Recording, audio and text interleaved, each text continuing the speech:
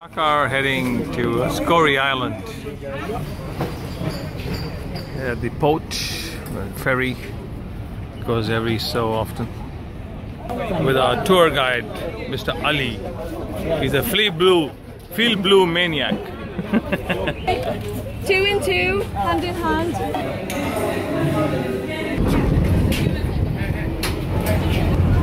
Yeah. A harbor is a harbor like any other place.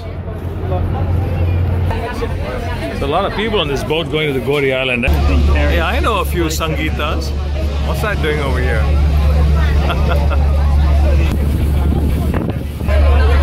Everybody rocking and rolling. There's the island. There's the monument, the Gorée monument. I think that's uh, slightly. Those are the slave houses. I love the heart there. Oh yeah. All the stuff coming in from the mainland to the island as we disembark. Thank you very much.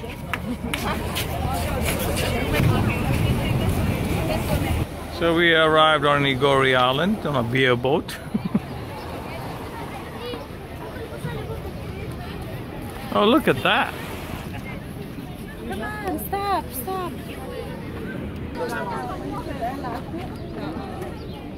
Musée de la Mer. Very interesting looking tree. Gotta find out about him. Statue of the Virgin Mary dedicated to all the doctors and pharmacists and nurses who died. Over here. 21 names of the doctors who were affected by yellow fever while helping on the island. The hospital was over there, and uh, to contain it, the doctors who died all of a sudden due to yellow fever, they burned down the entire hospital to contain the virus. That's the island's football ground, and all of a sudden the baba tree, which is there in the middle, sprung up, and it's illegal to cut it. And also, there's a spiritual and religious belief system that there's a lovely spirit living inside it, and uh, because they live for 1,500 years, so they in some old villages they'll actually have a hole in it, and they put a newborn baby in in that hole to bless the baby, and also if the uh, spirit when a person dies they put the person back in there as uh, blessing them for the next life. This is a neem tree Neem tree, exactly, yes. this is the neem tree Ah, it's a neem tree. Yeah. Yeah. Famous in India, huh? yeah Very famous, yeah. And very also good. we use it for, for, for malaria. yeah Yes. they use it in toothpaste and Yes, they use it for toothpaste. Seven leaves. You know, you just boil some water, you infuse seven leaves inside. You know, you wait five minutes and you drink the beverage. the neem tricks Malaria. Yes. Listen, Maria, talking about down one of the streets the basketball park One. Did you bring the wine? and there's a baobab tree there as well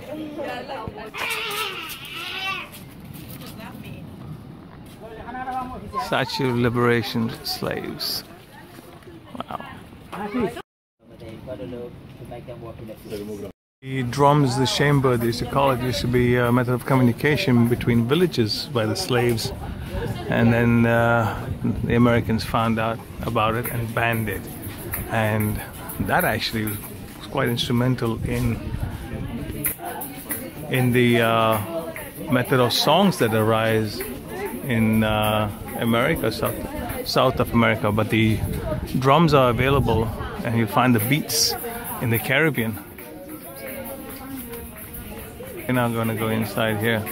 So you can see all the gospel singing and all the other kinds of singings and other instruments became an evolutionary point in American music.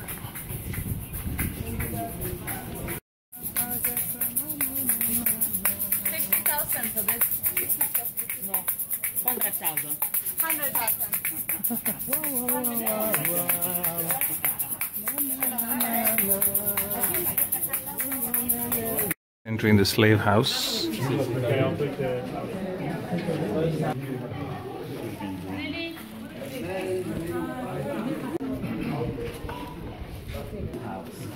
This house was originally built by the Dutch in 1776, and it was the latest left. The Minister of Culture of Senegal decided to keep it as it is. But it was not on this house around the island that they used to have. Now that was room over there.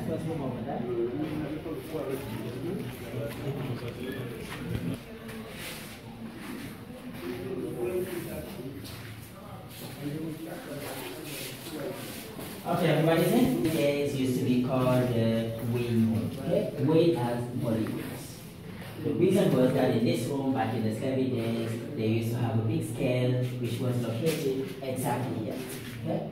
So that's why they decided not to paint this area. And the scale which was here was used to weigh all the male slaves who used to come to this house. And the reason why they were weighing them is to see if there were 60 kilograms or not. Okay? Because 60 kilograms was the minimum body weight required for a man to be qualified to be sold overseas. So if there were 60 kilograms and up, they were automatically qualified. But if they were below 60 kilograms, they used to keep them in a special cell in this house called the temporary feeding cell. Yeah, and they used to keep them in that cell for three months just to feed them. That way they can get a maximum of weight in a minimum of time. Now, women were selected depending on their ages and also their ability to have children. Concerning young girls, their prices were depending on their virginity. Their virginity was very expensive. In fact, all the young girls who used to come to this house, they used to first check them in here to see if they were virgins or not. Now, if they noticed that they were virgins, they had a special cell here reserved for nothing but the virgin young girls. I'll show it to you. But if they were non-virgins, they used to just keep them in the woman's cell and sell them like regular women. Okay? This is one of the slave rooms, eh? It's recording, so you can commentate. How grim is that? They would trade children for a, For a bit of fabric. or fabric. Awful. Here, they also had two more opposites. They were reserved to the man during the slave trade. Because there were more men coming here than anybody else, so they reserved five cells for them. This was a typical cell here reserved to the man. Okay? And in this very small cell, they used to pack, back in the slavery days, between 15 to 20 men in chains. Okay? So minimum 15, maximum 20. This is where the children were kept in the ages of 4 and 12, as much as 15 or more in here. All the way down there as well. This used to be full of children. Grim, eh? And the other side were ladies. Not much light in here, huh? Yeah, probably they have like um, electricity. Yeah. All right, everybody. This was the cell reserved to the young girls, especially the virgins. Remember, I was telling at the beginning that all the young girls who used to come to this house, they used to first check them over there in the waiting room to see if they were virgins or not. Now, if they noticed that they were virgins, that's where they used to keep them because their prices were depending on their virginity. And the second reason was, remember, upstairs was the guest house. Okay? It was just a big hole that was digged and also linked with a pipe that used to go straight out like this to the ocean. Now, there's two big questions: why a toilet in this cell, and also why a toilet at the entrance? Because the toileters decide to come down to pick some of those girls, they were always clean to be able to follow them without any problems. Okay? Compared to the men over there in the men's cell who used to do anything they had to do right there on the floor. They used to pick the the virgin girls the from those cells, windows there. Sometimes they were forced to sit on it. So this is a passageway it's from where the white folks used to look at the virgin girls and choose the women that they wanted. And the funny thing is that the virgin girls would then become free if they fell pregnant and they could have their Western influenced kids on the island. These were called signares, kind of like senoras, and mulaharas, or some kind of a Spanish name. So you had like the Anglo Indians in India, you had the, uh, I guess, the Anglo Negroes. The mulatto female were called So mulatras. and the mulatto male mulattas. So that's the difference between you know here and the other side. Okay? South America, that's what So the Anglo Indians of India and the mulatras Everywhere. of But here, What country are you from? Africa, Euro Africa. cell called the temporary feeding cell. So it's in this cell where they used to keep all the male slaves who were checked over there in the weighing room and who were below 60 kilograms. Okay? And they used to keep them in here for three months just to feed them. And while they were in this cell, they were eating by force. Whether they like it or not, they were forced to eat. That way they can gain a maximum of weight in a minimum of time. And the. As you can notice, if you go inside, you only can bend or sit down. So all the slaves who were trying to bring some trouble in this house, like fighting in the that's where they used to keep them. Oh, also, the concern was not how many slaves they used to keep in here for punishment. The problem used to be how to close the iron and wooden door which used to be here. How many would they put in here? Sometimes they had so many slaves to punish that they had problems to close the door, so they had to force it. Oh. And no light, huh? Okay? But the punishment used to last only one day, two days at the most, three days of punishment. I want to No light. You want to go? So many Oh. Nelson Mandela was Very, here. very sad to hear that from Mandela. Uh, he went inside here for 10 minutes. And when he came out, At least this was long ago, his eyes were red. years ago when they put it And he said it reminded him of Robben Island. Bless you, Mr. Mandela, for teaching us. But you're right. I went to Peru with a Spanish These used to be windows. All women's the women who used to come to this house, that's where they used to keep them. More spacious, huh? This is the biggest cell in this house. Okay? Also, all the young girls who are checked and who are not virgins or not virgins anymore, they also used to bring them in here to them like. You can also notice that the ceiling was renovated. So this was done a few years ago. And the reason why they decided to renovate it was that the Ministry of Culture of Senegal wanted to turn this woman's cell here into one exhibition room.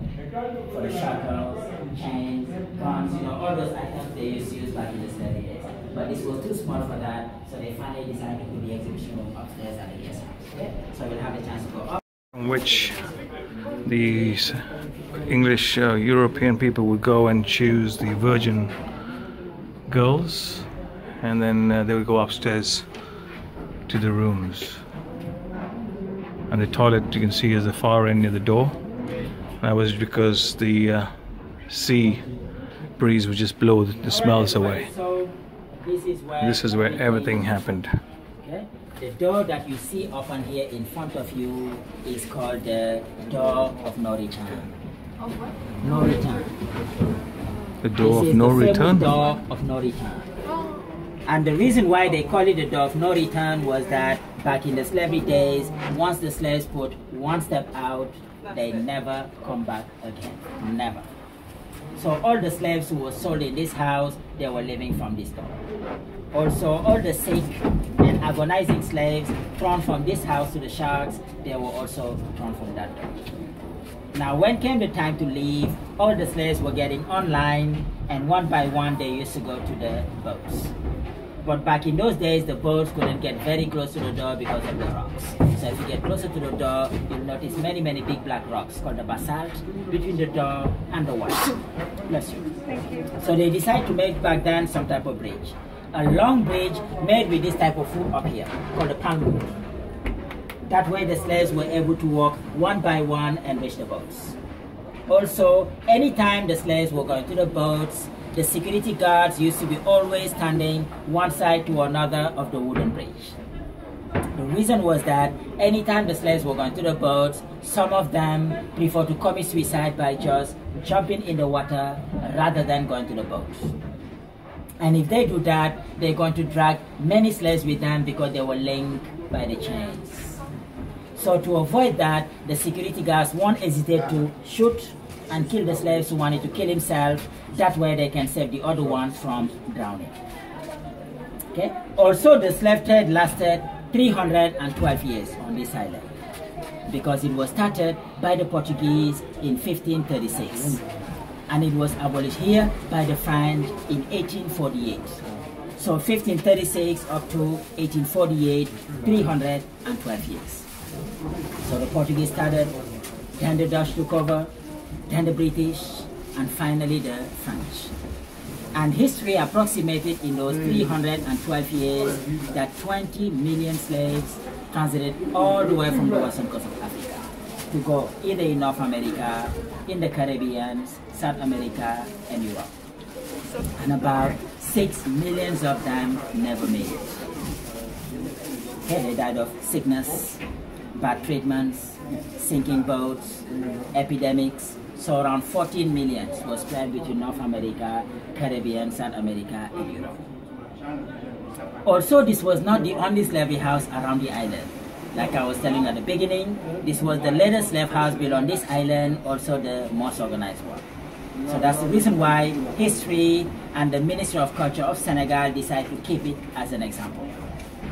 But all the houses built alongside the water on this island, all of them were used as slave houses either by the Portuguese or the Dutch or the British or the French.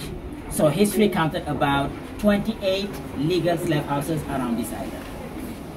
And I mean by legal slave houses controlled by the whites because they also used to have many, many illegal slave houses controlled by the mix, the signares and mulattoes, also involved in the slave trade but in a lower level. Now you can just imagine in 312 years how the traffic was around this island. Okay? And they're holding cells and they will come through here. And this will be the walk to the door of no return. They'll be in their chains fear.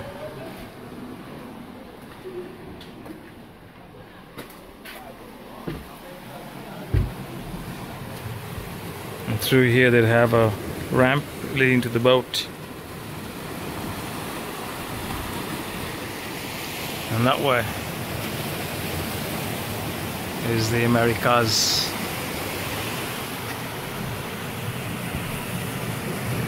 This is where the guest house was, which they've made into a museum. Alright, come inside everybody. It was the guest house back in the slavery days, but today it is turned into an exhibition room. Okay? All these items that you see here and there were found in this house and used back in those days. For example, this one here was for the neck, especially on women. Ah. This was for the wrists, these ones too. This one here was for the ankles. For example, for two slaves, they used to put one in one slave leg and the other one on the other slave leg. That way no one can do any movement without the other and put the tribes into and the tribe which won the war used to keep the defeated tribe prisoner. They also used to have divide and rule. That was in Asia so too by the British. To the coast, the in Dutch. with the tribal chiefs along the coast, collect the prisoners from the tribal wars and bring them to this island and sell them as slaves. Catholic missionaries used to do that, unfortunately. Between 300 350 slaves in one time. And this is the way the slaves were arranged in the boat for the voyage. And when the boat was full, that's the way it was looking. Okay? So they were all laying down in chains one to another, just packing them like sardines. Also, okay, so all that area was concerned by the European slave trade. Okay? And along that western coast of Africa, they used to have so many transit centers. Okay? For example, only in Senegal, we had Gorée Island and Saint Louis in the north. In the Gambia, in the south, they had James Island. In Ghana, they had the Elmina Fort and Cape Coast. In Benin, they had Ouidah and Allada. In Nigeria, they had Lagos and Badagry. Also in Angola, in the south, they had Luanda and Loango. So all, Yeah, like there's not What's the question again? so why no blacks in the Middle East? Even though the slave trade started in the 7th century, Centuries about the slave trade. Why? Why no blacks in the Middle East? never thought about it. There is. I don't Many know. people don't even think about it. I mean, there's a sad story behind. The reason was that the Arabs were castrating their male slaves. Okay, for two reasons. Castrated. You know, you don't castrate? Hmm? You don't know about it? Not it. I mean, I mean, back then they were not cutting. They were just pounding the nuts. That's it. I was sorry for going into the details, but just want you to know. Bless you. Okay? For two reasons. Okay, the Arabs were nomad, they were also big feathers. So to avoid something to happen in their back with their wives or with their women, to avoid a dishonor, they used to just castrate those male slaves. And the second big problem with the Arab slave trade is that for the woman slave to have babies, they have to be impregnated by the masters. Okay? So men couldn't have babies, women also couldn't have babies. So along the years and the centuries, the black population just disappeared. So that's why nowadays the Middle East is not like America or Colombia. Because men couldn't have babies, women couldn't have babies. And that is the uh, door of no return, where the guys is coming out from. And that's where the boats would be. This is just one of the 300 houses on the island. That looks like the uh, bottom of the fort. Let's I'll show you a diagram of it now. That's the diagram of the fort. Oh, Yeah. wow. So where are we here then? So I guess this is the bay, so we're over maybe Oh, here we're or here, yeah. So that was 1728. So that was in the middle of the 300 years of slave trade. All of these were slave houses, and they now got people residential apartments. And walking through the village, another baobab tree, baobab.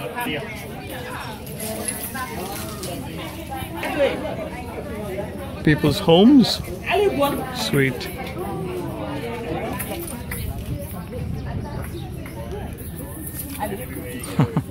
I love these intersections.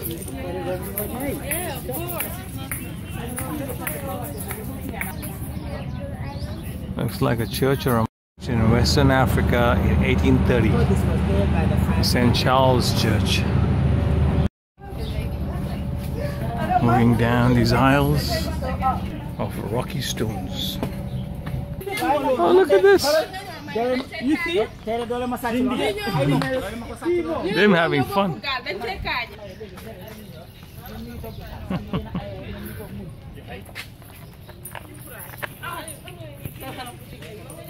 That looks like the mosque. And that's an artificial tree Artificial, yeah. for telecommunications. Mainland. Right now, electricity and water comes from the mainland. But they have two huge generators. Right, everybody, so this is the But you island know what I mean? The hmm? energy feeling. That yellow building. And as you can notice, it doesn't look like a mosque. Yeah, And it also doesn't have a minaret. The reason was that that was not built as a mosque. That was built as a small chapel. And it used to belong to the black workers on the island during colonization. Okay? But the French realized that so the French realized that among the black workers who were here working for them, there were more Muslims than Christians. So to hold them on the island, they decided to turn that chapel into a mosque. And up to today, it's still the island mosque. Gallery of sand painting. Wow. right, come inside, everybody. Don't touch.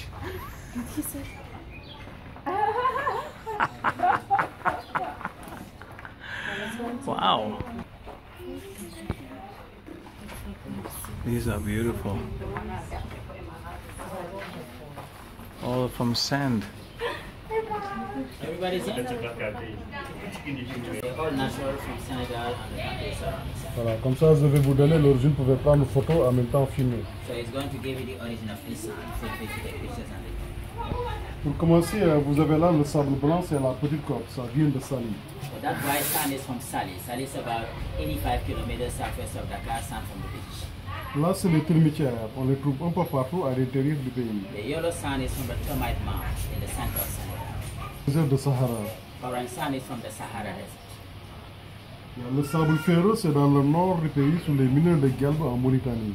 And that irony sign is from the iron mines of Galve in Mauritania. It's a country in the north of Senegal, and they do have a lot of iron mining. De là, c'est les mangroves. C'est en allant vers Gambie, vers les Sénégal, sont les paquetiers. That sign is from the mangrove area, the border between Senegal and Gambia. In the water, when they extract it, it's wet, but when it's dry, you have that light. Là, c'est latérite. Latérite, c'est les pays de la terre rouge. C'est comme Mali, Niger, Burkina, Soudan, Tchad. And that brown sand is coming from the countries called the red ones, like Mali, Niger, Burkina Faso, Chad, Sudan, all that. Le gris, c'est dans le sud du pays. C'est en Casamance, plus précisément au Cap Skirring. Grey sand is also sand from the beach, located in the extreme side of Senegal, the Casamance area in the south. That's why you have the most beautiful beaches in Senegal. Là, c'est les dunes de Lac Rose. And that sand is from the Pink Lake. Yeah? Have you heard about the Pink Lake? Yeah, I want to go. Might so we there can see it, huh? It's a special lake outside of Dakar, and the whole lake is pink, but only at a certain time of the day. Okay? So between the lake and the Atlantic Ocean, they do have a big desert where people can rent camels, go by the dunes, or rent 4x4s or quads to get all the way to the Atlantic Ocean. And the dunes are that. Et pour en finir, il y a le noir, le sable volcanique de Manal. And the black sand is a volcanic sand. So by the airport, they have two big mountains. On the first one, there's a big lighthouse, and on the second one, there's a big statue called the African Renaissance Monument. So that's what they tell us. La colle que nous utilisons comme fixateur, ça vient du baobab. C'est la sève du baobab mélangée avec la gomme arabique. So the glue they use is extracted from the baobab tree I was explaining to you earlier. So it's the sap of that baobab that they extract and mix it with Arabic gum, which is also coming from another tree called the acacia. Yes, so they mix together and use it as well. He's going to make a small demonstration for you to show you how these paintings happen. Et comme vous l'avez vu, euh, c'est une technique que nous avons appris à l'école des arts à Dakar. Couleur, ça vient toujours du plus foncé au plus clair. And the sand painting technique, they always start from the lighter sand color to get to the lightest ones. Compared to the normal paintings where they go from the lightest color to get to the darkest. Comme ça, les couleurs, on ne les bouge pas, c'est seulement toujours à l'inspiration de l'artiste. And the colors are not mandatory, but just depend on the inspiration of the artist. But the artist makes sure he goes from the darkest colors to get to the aqui. Entendeu? Gengibre condensado branco, Comme ça, du chocolat blue. Versa le sedão. E aí vou ver como vai final. Isso é só. Beautiful. Thank you. C'est ça. Beautiful. Ok. Paintings are so strong that women can even file their nails on it always. It's good for The sign will never come off once it's done. Et si, si vous envoyez aussi des souvenirs, c'est selon la dimension qu'on les vend. On the way up to the monument, you see this cattle farm chickens, ducks, goats, and cows.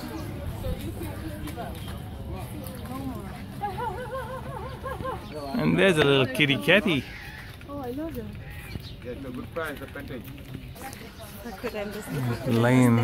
Understand. lined with baobab trees.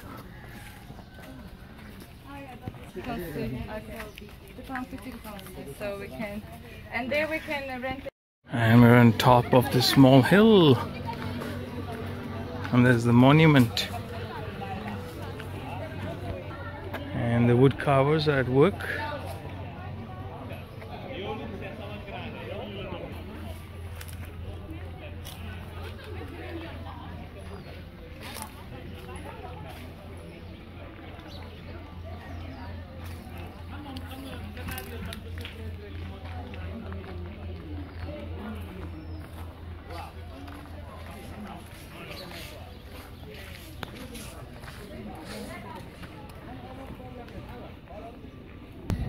Wow, look at that.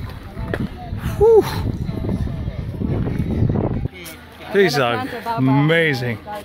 All right, everybody. So now we are on the big fort, and this is the fort of Saint Michel, and it was built by the French between 1898 up to 1902. Okay, and these cannons that you see here, they were placed here between 1907 up to 1937.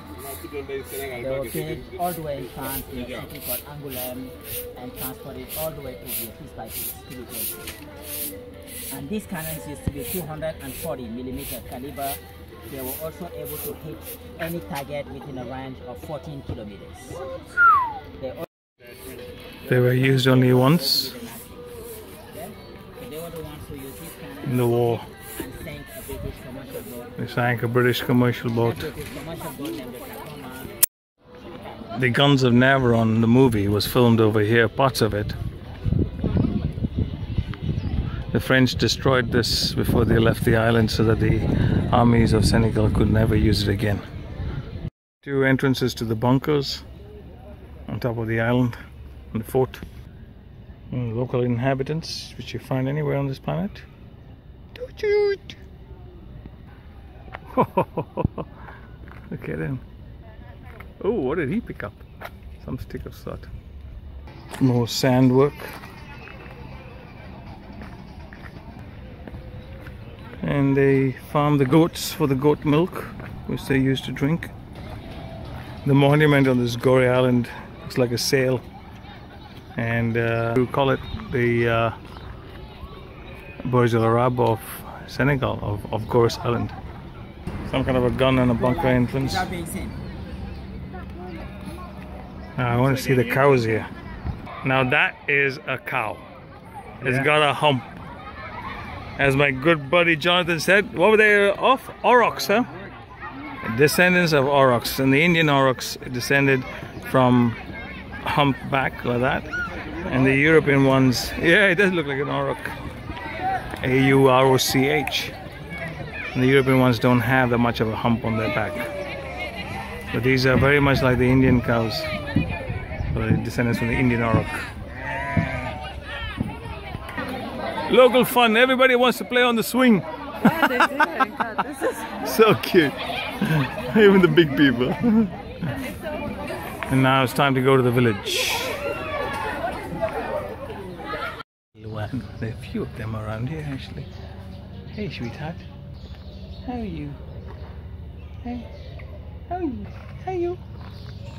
Meow. How are you? What? I don't have anything for you. What about you? And you? And you? How many of you here? Yeah, your whole family around the place. Yeah. Area which was burnt down due to the uh, yellow fever epidemic, and where the doctors had all died who are looking after people on the island, and that's why they built that uh, missionary statue. And here's the uh, football ground, and the famous baobab tree that sprouted in the middle of it.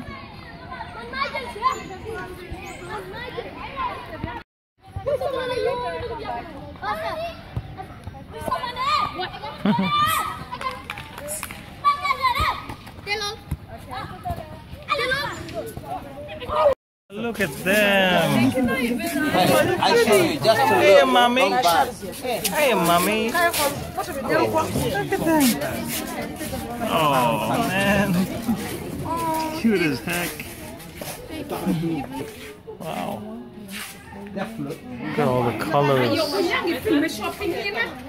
You are not liking anything, eh? What a nice hairstyle. Ngay filmé waay. This is a small marketplace on the island. Ball over there. Amazing.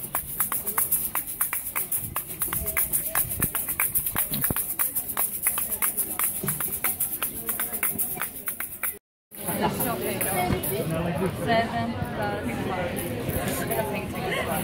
This is so funny, but I just want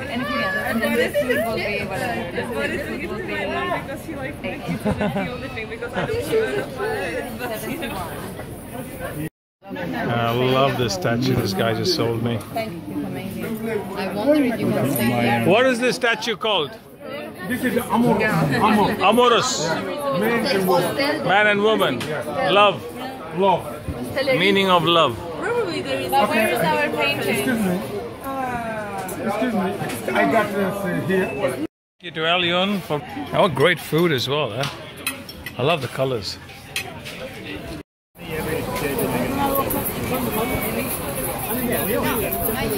To think this was one time shark infested.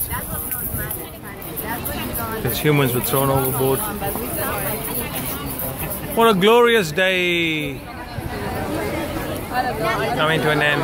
Time to head back on the beer wagon.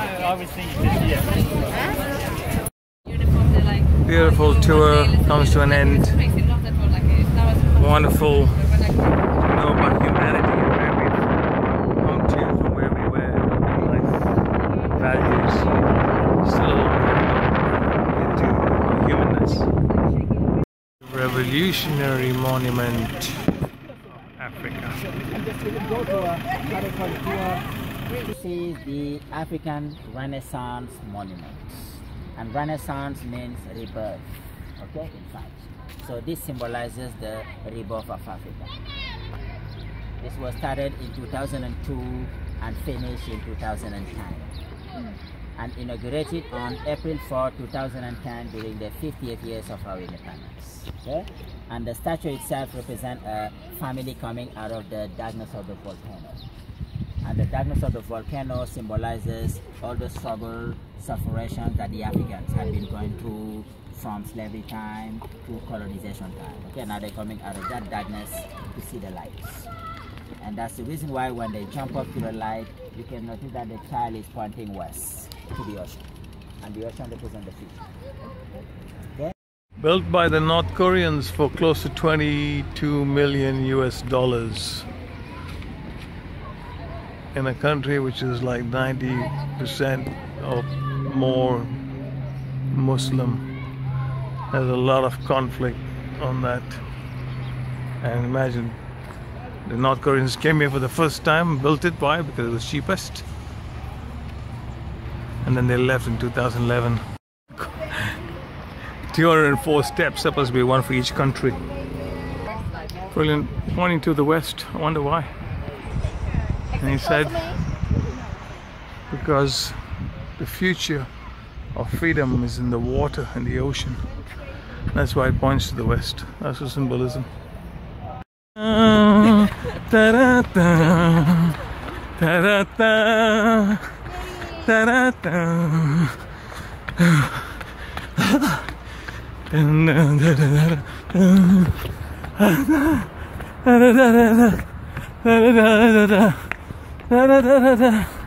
Oh, if this was Philadelphia,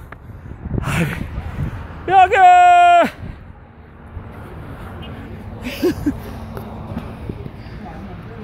wow. The lighthouse is the second highest lighthouse in the world in Africa. The highest being in Cape Town area, Cape of Good Hope. And that's a volcano and an old one. And uh, this is also volcano rock. A severe foundation. The man alone weighs 100 tons. And uh, bronze and copper 65 35 piece by piece brought and built from Pyongyang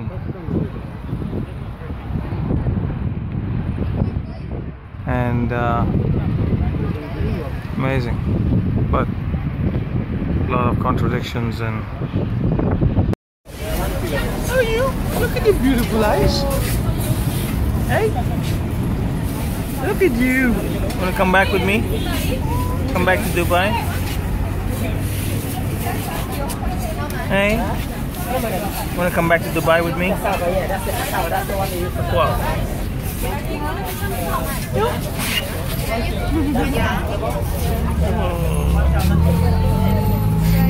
in the fruit market.